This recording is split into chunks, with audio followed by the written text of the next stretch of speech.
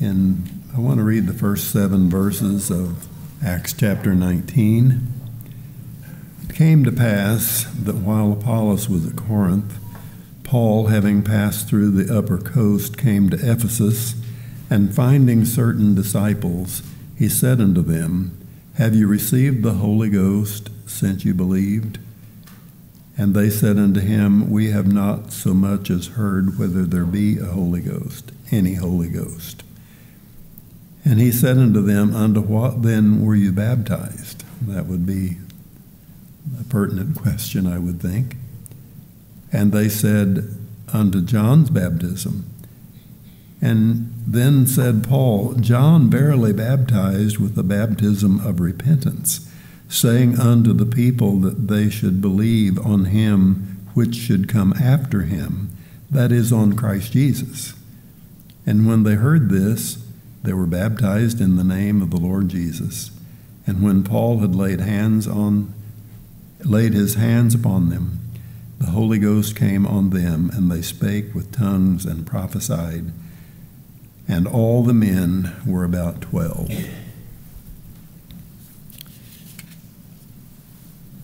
The question that Paul puts to these Ephesian disciples, disciples of John, has been the source of much discussion, even controversy. What is this question about? What is he really asking them?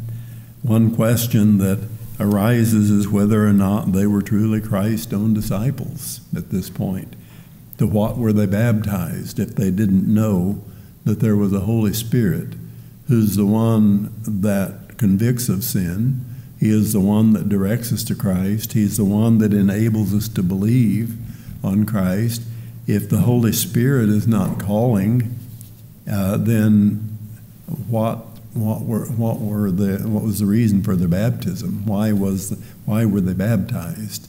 And now we know that the Holy Spirit came was sent on the day of Pentecost. We've been looking at that on Wednesday evenings, and he came according to the prophecy that was given, and everything that took place on that day was um, an amazing um, demonstration of the power of God and the power of the gospel and the wonderful things that took place on the day of Pentecost. And many have said, well, what we have here in Acts chapter 19 is the second Pentecost.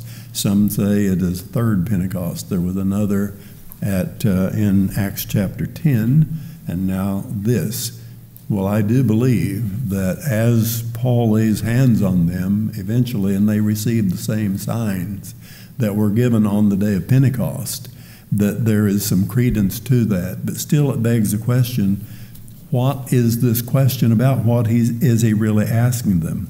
More recent, uh, uh, the question has been more recently, uh, I'd say in the last 140, 150 years, um, it, concerning the baptism of the Holy Ghost, that they had been saved by grace and now they need to be get the second blessing and be baptized in the Holy Spirit.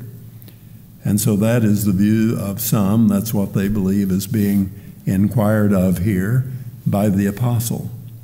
But this question gets down to the real uh, crux of the matter concerning our salvation, the salvation of anybody. And to me, this is the way I want to consider it tonight. This question gets down to the nitty gritty. He did not say, Have you believed? He did not ask, How came about your believing? His question was one which, when answered, would clarify both of those things. It would clarify whether or not they had believed. It would clarify how they came to believe the answer to this question. So, this question is one that we do well to ask ourselves. I believe, in the sense that it is meant, it's a question that believers do well to ask. Not that we are doubting our salvation or anything, but is there evidence of the Holy Spirit in our lives? Are the fruit of the Spirit being demonstrated in our lives? Do we have the leading of the Spirit in our lives? Do we have the Comforter in our lives? Is He directing us? Is He guiding us into truth? He's the Spirit of truth. So, have I received the Holy Ghost since I believed? Since I say that I believe, do I have the evidence of the Holy Spirit? Now, when I believe, did, did the Holy Spirit come into my heart? When I did believe, did He come into my heart and into my life? Is there evidence of His presence and His influence in my life? I think that is a pertinent question. Whatever, however, Paul meant the question, whatever he is asking, we can put all the controversies away, all the arguments away. What I'm, the way I'm approaching this tonight, it is pertinent and it does make sense, and it's a question that we can put to ourselves. Now, some might argue that's not what he is asking here. Well, if that's not it, and as they might say, it had to do with those times from Pentecost until that time, then it has nothing to do with us, if that's all it is. And I prefer to deal with, with the question that pertains to us today, which, regardless of what the apostle had in mind, is the question. That's the question of the hour.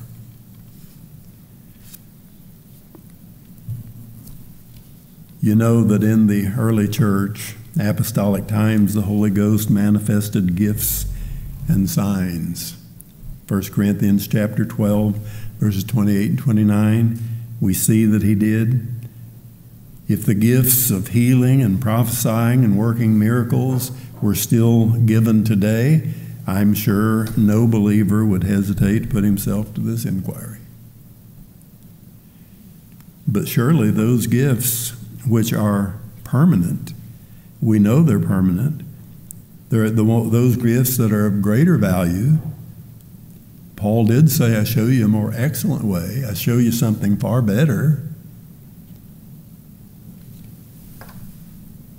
If that, if the permanent gifts, greater value than the temporary gifts, and God's usual order in all things is to save the best wine to last. And I believe in this case this is true. But we have the quickening, we have the comforting, we have the enlightening, we have the interpreting, we have the hearing, we have the witness.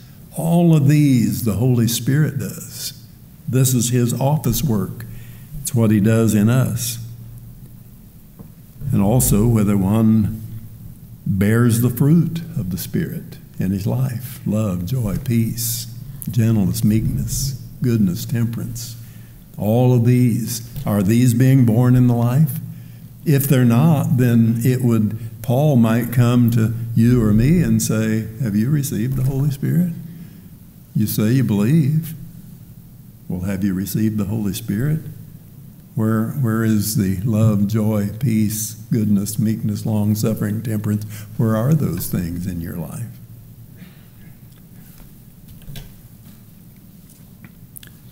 Did I receive the Holy Spirit when I believed? Am I receiving the Holy Spirit now that I have believed? Or am I receiving the Holy Spirit as I am believing? Is another way of this the uh, understanding of the text.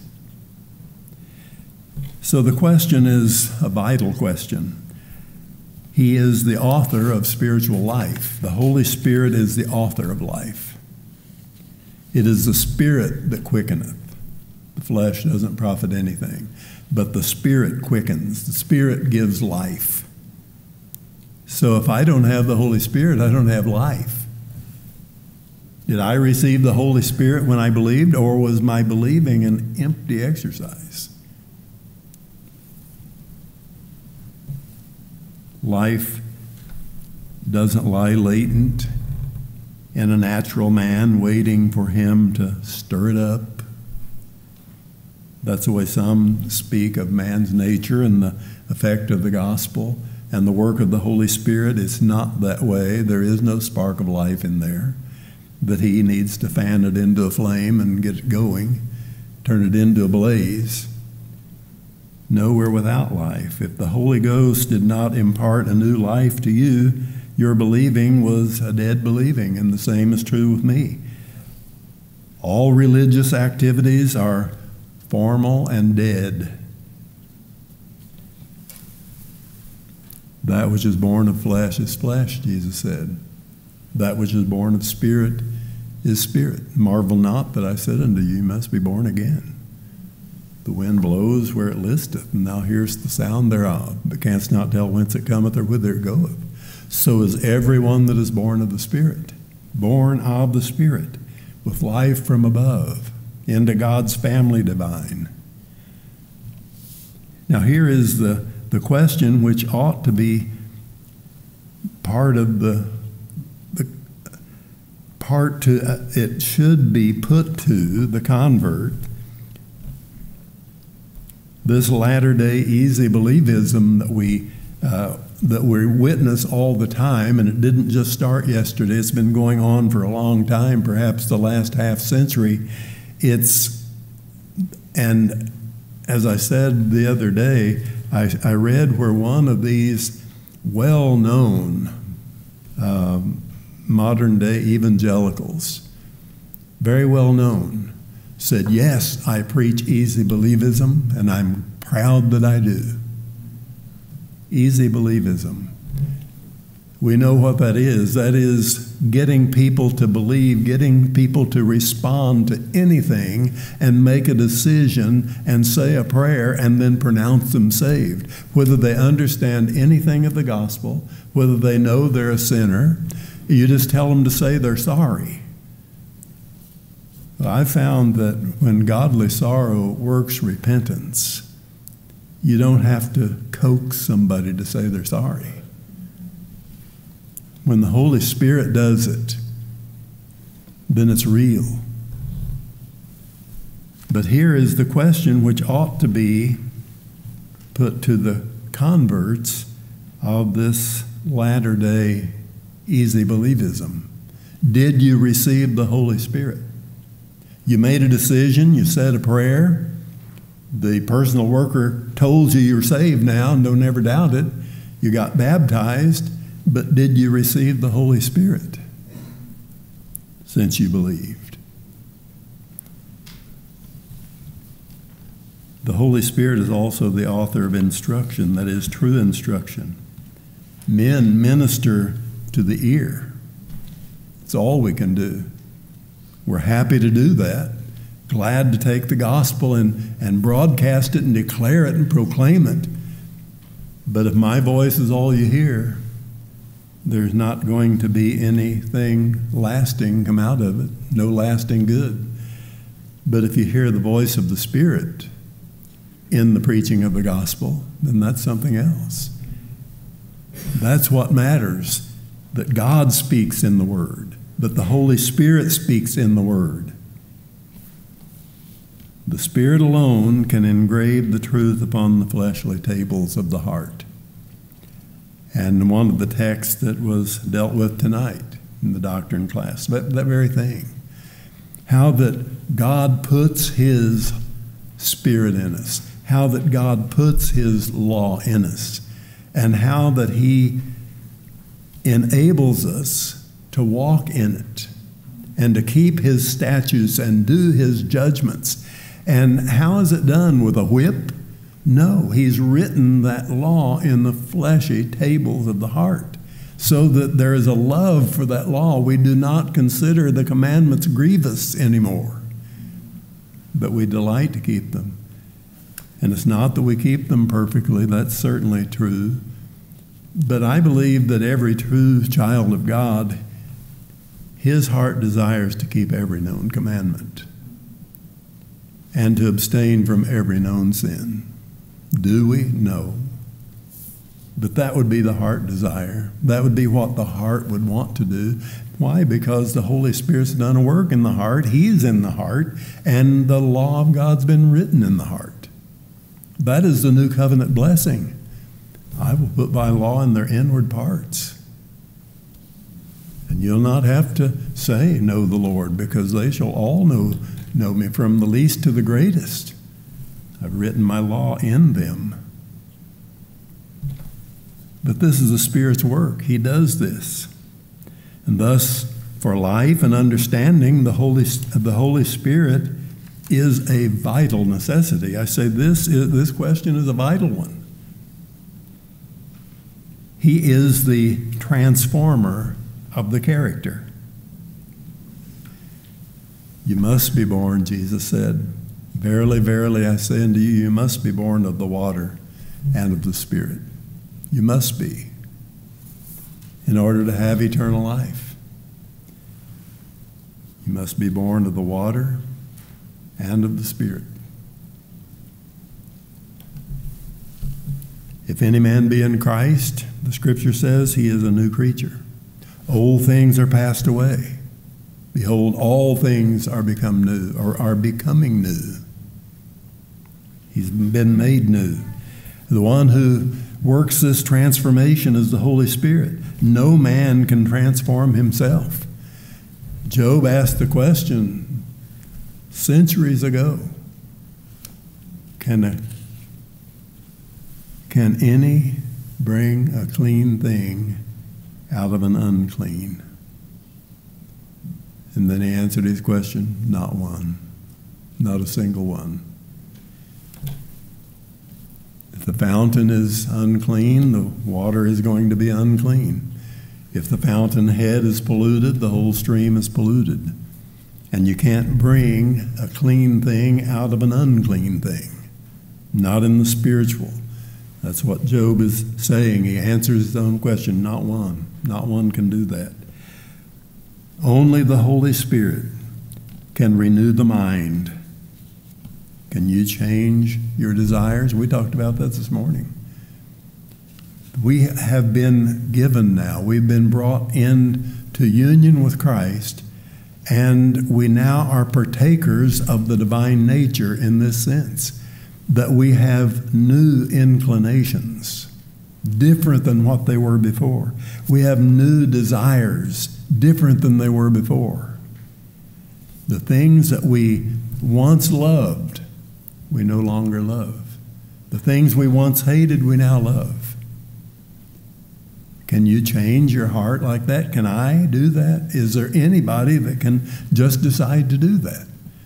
I hear sometimes people talk about repentance as though that's just as easy as falling off a log. Well, it's not. As a matter of fact, if God doesn't give us repentance, and that's the way Paul words it in his letter to Timothy, unless he gives us repentance, we'll never repent. Unless he grants us faith, we will never believe.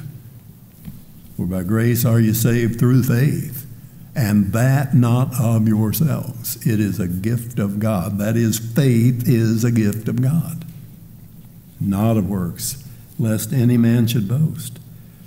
So we can't change our hearts. We can't change our desires. We can't change our inclinations. We received in the fall this sinful Adamic nature, and it is always downward. It is never lifting itself up. So we need someone to lift us up. We need someone to transform us, and that is the Holy Spirit. That's His work. Did I receive the Holy Spirit when I believed? Has my nature been transformed? Do I now love the Lord, love His Word, love His people? We can know that we've passed from death unto life because we love the brethren. That's one of the tests we can put ourselves to. Do we love the people of God? Well, that's a good proof that you have life, that you've passed from death into life, that the Holy Spirit has transformed you. If in believing your nature did not undergo a radical change, which is evidenced by the changed life, then it's nothing more than presumption. It's not faith at all. Something else, the Holy Ghost is the sanctifier. It's another of his works. He's the author of sanctification, a faith that does not pine for purity and does not pant after God is indeed a counterfeit, Mr. Spurgeon said. And he took that a little further and he said, A faith that is not purifying is putrefying. That's a pretty strong statement, but I believe Mr. Spurgeon is right. faith that does not pine for purity and pant after God is a counterfeit. So did I receive the Holy Spirit when I believed.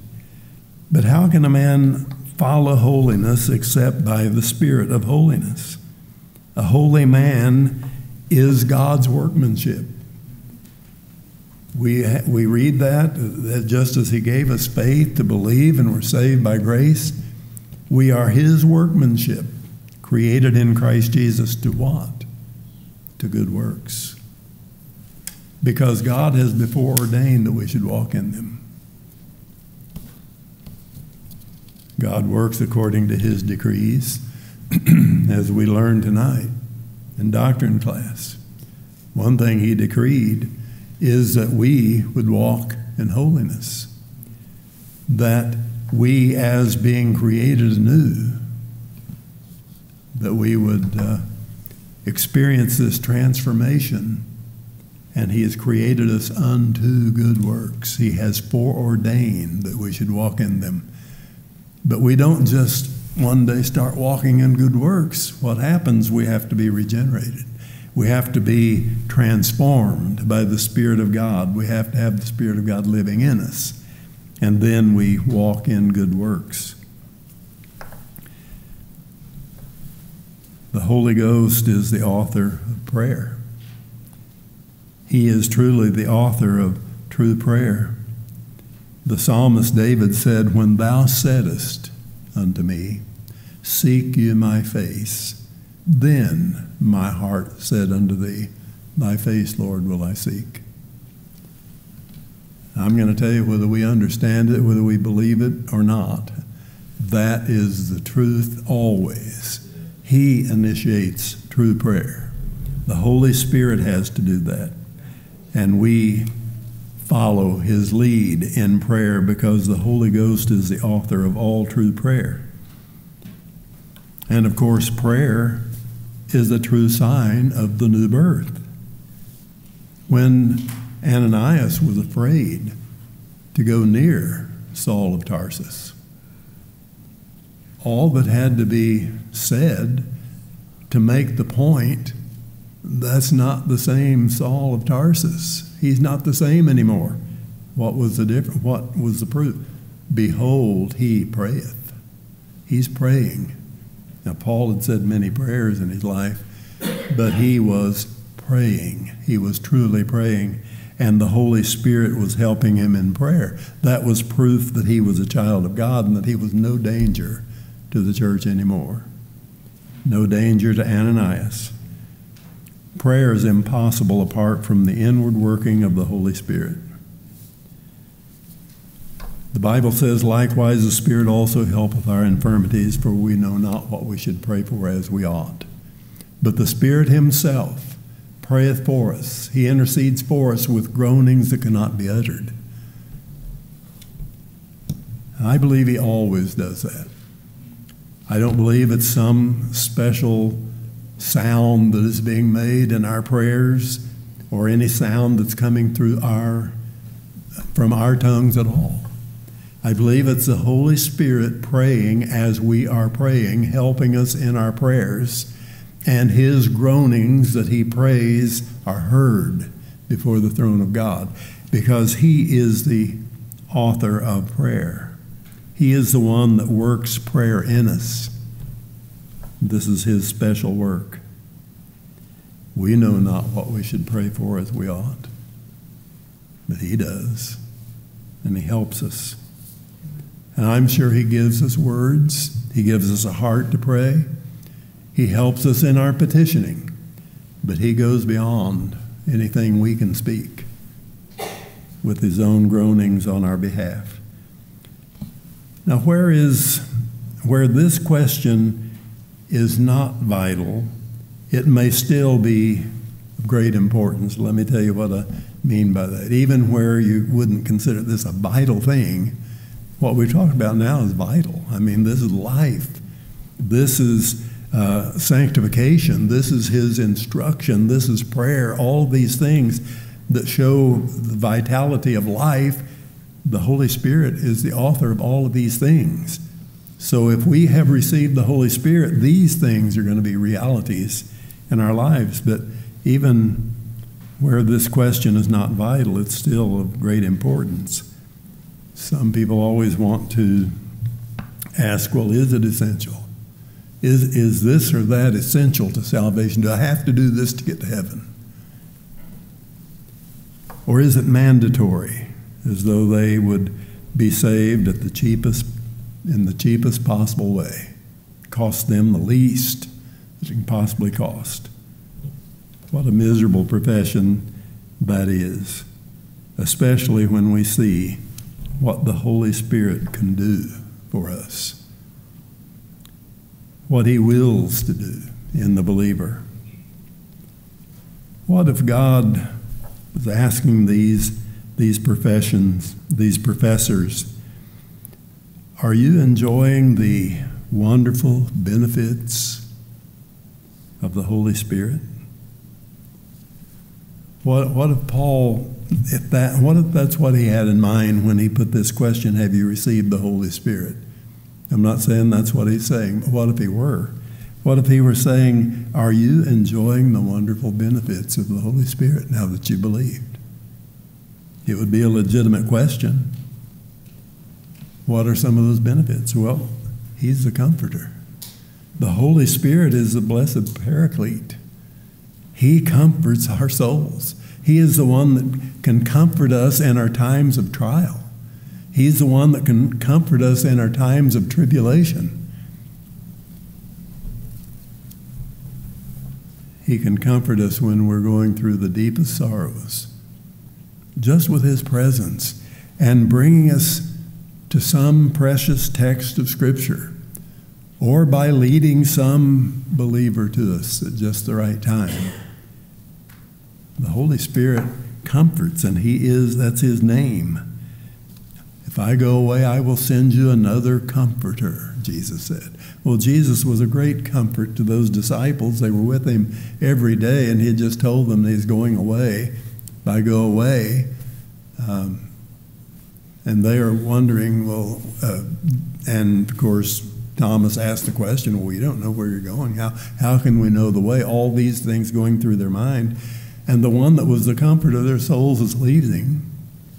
And he said, I will send you another comforter. He'll be with you forever. He will abide with you forever.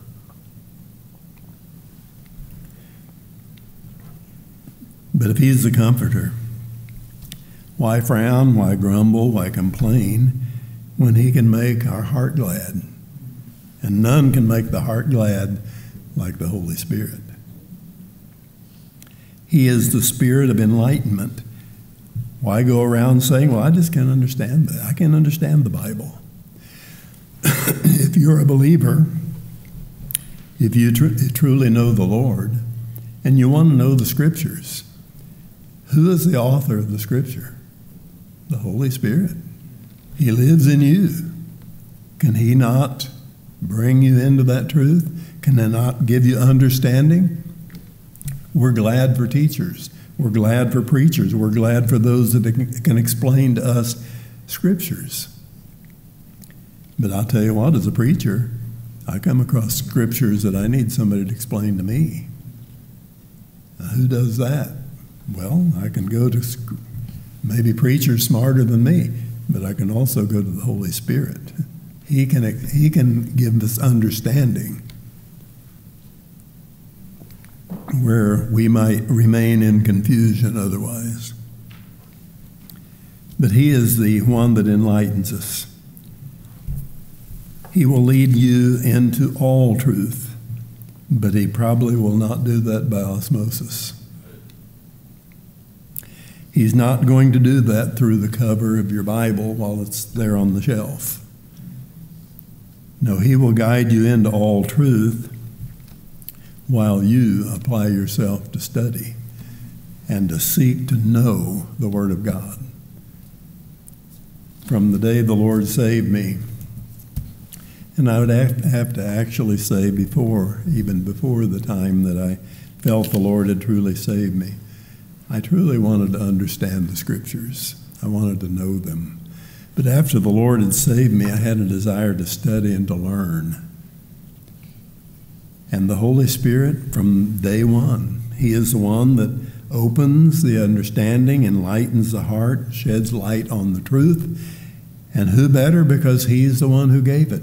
And we've said many times when you come to dealing with some of the difficult prophecies of the Old Testament, and you hear all kinds of uh, wild ideas as to what this means and when it's to be fulfilled, so many times, if you will allow it, the Holy Spirit Himself has explained it through the New Testament apostles, through the writings of the New Testament, perhaps through the words of Christ or Paul or Peter or others. And we do not have to remain in the dark or questioning what does this mean because the scripture itself explains it. Well, that's the Holy Spirit explaining himself. And he can do this with any text of scripture. And I'm so thankful that he does. He's the spirit of liberty. This is a great blessing that he is the spirit of liberty. He has removed the veil from our hearts so that we are now led into truth.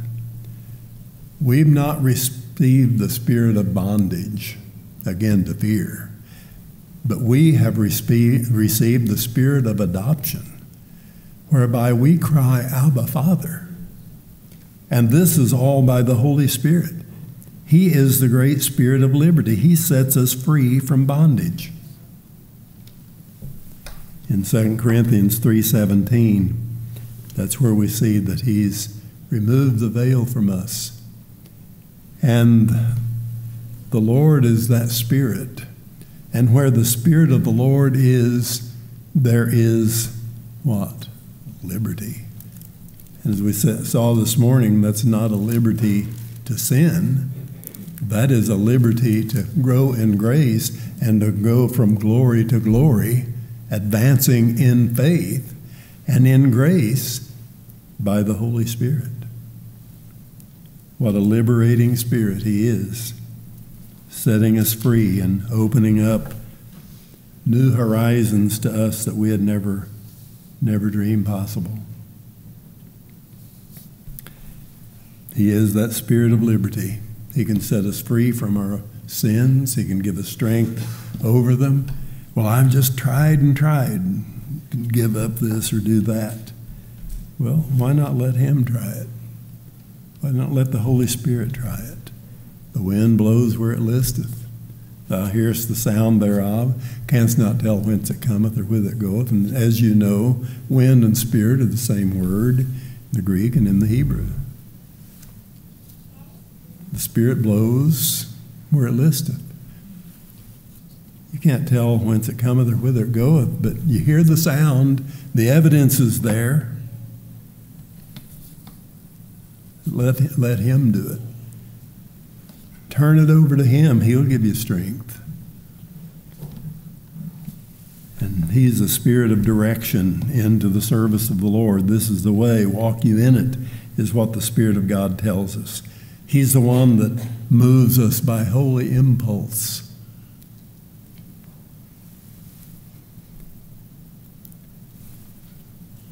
It's God that worketh in us, both to will and to do of his good pleasure. I had a, an aunt that believed in work salvation, and She was always, work out your own salvation with fear and trembling. And period. That was the end of it. But she never went on to the next verse. For it is God that worketh in you both to will and to do of his good pleasure. We can do no good thing without the Spirit of God working in us. And that is exactly what he does. And then he also empowers. Does any man know what the Spirit of God might make of him? I know that D.L. Moody once said, maybe more than once said, that the world is yet to see what God can do through one man totally given to him, totally dedicated to him. And I'm sure the world is still waiting to see what can be done. But he went on to say what I think is the heart of any believer I want to be that man. I would love to be that man. Completely yielded to the Holy Spirit to see what he might do with me. How much uh, divine power has never been tapped? I believe the, the greatest, the ablest, the most holy men of God might have been greater and abler and more faithful and more holy if he has put himself more completely under the control of the Holy Spirit, at the Spirit's disposal. Now, these uh, blessings are answerable to the second rendering that I gave of the text. Are you receiving the Holy Ghost since you're believing? Since you believe. How about us? Are we? This question can certainly be answered. Some doubt that it can be known. But in uh, some, the question is needful. The perpetual pessimism that some people live in, the muckraking and the grumbling that occupies most of the time of other people, worldliness, selfishness. When the fruit of the Spirit is love, joy, peace, long suffering, gentleness, goodness, meekness, temperance, it's needful to ask this question. The question that Paul asks Have I received the Holy Spirit? Since I believed, is he evident in my life? Well, if he is, then certainly it's going to change my countenance it's going to show up in my attitude. It's going to show up in whether I'm a constant pessimist or if I think positively. And I'm not Norman Vincent Peale. I'm not talking about the power of positive thinking. I'm talking about thinking as the Holy Spirit empowers us and trusting in His power and what He can do. Why should we be pessimistic? Why should we not be optimistic? Is there anything too hard for him? Now, the, in other words, this question in other people, this uh, question is needless. They're enjoying the earnest of heaven.